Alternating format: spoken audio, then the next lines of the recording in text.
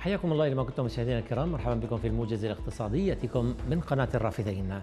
قال الإطار التنسيقي أن سلم الرواتب لن يطبق في عام 2023 بسبب عدم تحمل وضع العراق الاقتصادي بحسب وصفه.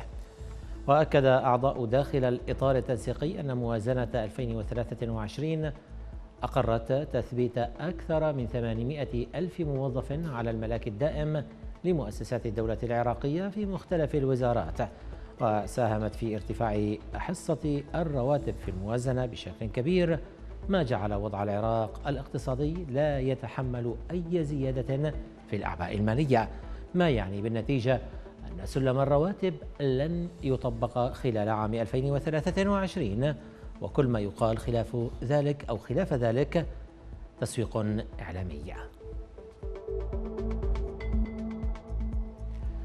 يواجه المحاسبون والمدققون العراقيون جملة من الانتقادات بعد جملة فضائح في مؤسسات الدولة في الحسابات والتدقيق. وانتقد مراقبون ضعف دور نقابة المحاسبين والمدققين العراقيين التي تظهر مواقعها الإلكترونية انشغالها بإجراء دورات في التدقيق والمحاسبة دون وجود نتائج ملموسة وحقيقية.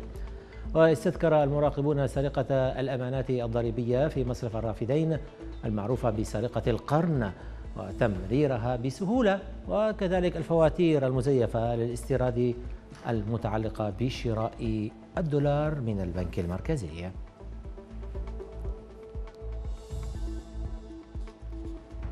انتقد خبراء تجاهل السلطات المعنية بالقطاع الاقتصادي لتطوير القطاعات الإنتاجية في العراق.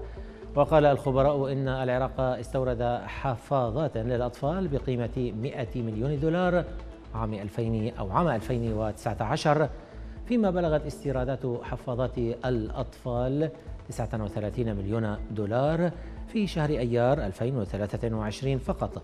متسائلين عما إذا كانت حفاضات الأطفال تحتاج إلى تكنولوجيا متطورة لإنتاجها محلياً.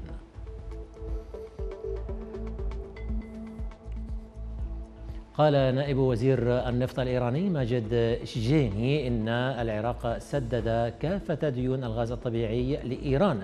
لكن ما تزال إيران غير قادرة على الاستفادة من الأموال بسبب مشكلة في تحويلها من بنك التجارة العراقي إلى إيران.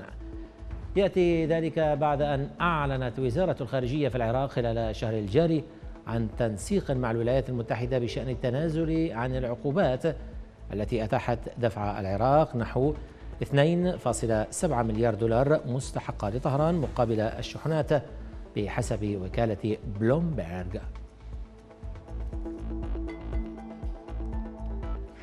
وفي خبرنا الأخير صعدت أسعار النفط في المعاملات الآسيوية المبكرة بعد أزمة شركة فاغنر العسكرية الروسية الخاصة.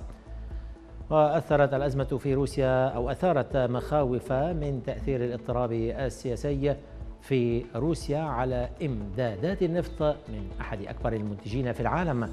فيما أكد الرئيس التنفيذي لشركة النفط السعودية أرامكو أمين ناصر أن سوق النفط العالمية سيظل قويا لبقية العام الحالي بدعم من قوة الطلب من بلدان نامية خاصة الصين والهند. والآن هذه انتقالة سريعة مشاهدينا الكرام إلى أسعار صرف العملات الأجنبية وأسعار المعادن.